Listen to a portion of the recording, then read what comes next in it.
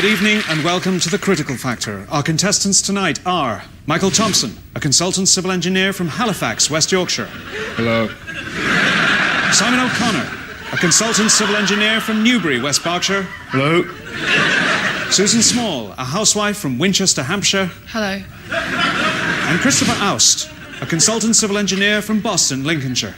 Hi there. Steady on there, Christopher.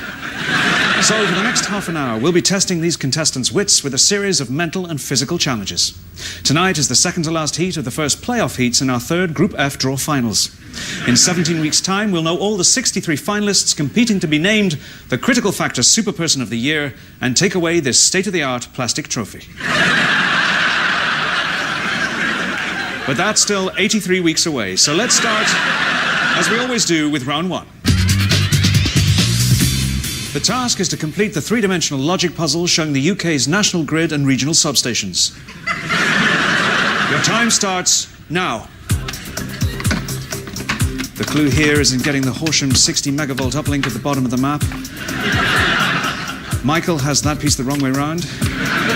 Christopher's worked out that no two adjacent colours can be the same, except for purple and buff. Simon's just staring at his. It's beginning to take shape for Susan. And that's it. Well done. And for Michael. That's Christopher's puzzle completed. An excited celebration there. Simon having real trouble. Well, there you go. A valiant effort nonetheless. Let's see what that does to our scoreboard. Simon, a tough round for you, and that leaves you in last place with a critical factor of two.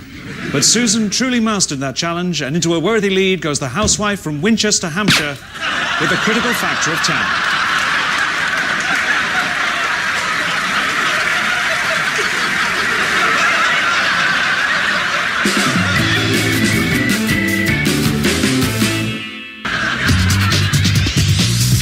It occurs once in a minute, twice in a week, and once in a year. What is it?